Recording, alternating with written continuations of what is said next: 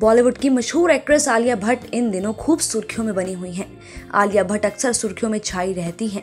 आलिया कभी अपने बॉयफ्रेंड रणवीर कपूर के साथ शादी को लेकर सोशल मीडिया पर सुर्खियाँ बटोरती हैं तो वहीं अब आलिया अपनी कन्यादान वाली एक ब्राइडल वियर ब्रांड के एड को लेकर चर्चाओं में बनी हुई हैं। इतना ही नहीं, आलिया के इस एड से एक शख्स इतना नाराज़ हो गया है कि उसने आलिया के खिलाफ मुंबई के सांता क्रूज थाने में शिकायत दर्ज की है।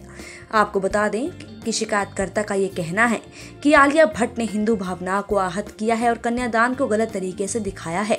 शिकायतकर्ता ने इस मामले में मान्यवर कंपनी और आलिया भट्ट के खिलाफ मुंबई के सांता क्रूज थाने में शिकायत दर्ज कराई है। वहीं ये भी बता दें कि जब ये एड रिलीज़ किया गया था तभी से सोशल मीडिया पर कई लोगों ने इसे लेकर नाराज़गी जताई थी। लोगों का कहना था कि कई धर्मों में ऐसी कुरीतियाँ हैं जिनके खिलाफ जागरूकता नहीं फैलाई जाती। लेकिन कुछ ब्रांड्स ऐसे हैं जिन्होंने हिंदू धर्म के खिलाफ जैसे धर्म युद्ध छेड़कर रख दिया है। इतना ही नहीं, लोगों ने नाराज़गी जताते हुए ये भी कहा है कि असलियत में हिंदू महिलाओं ने बड़े क्षेत्रों में उपलब्धियाँ हासिल की हैं। लेकिन कुछ निर्देशक महिलाओं को पराया धन बताते हुए फ़िल्में बनाते हैं। फिर समाज सुधारक की भूमिका भी निभाते हैं, जो कि गलत है।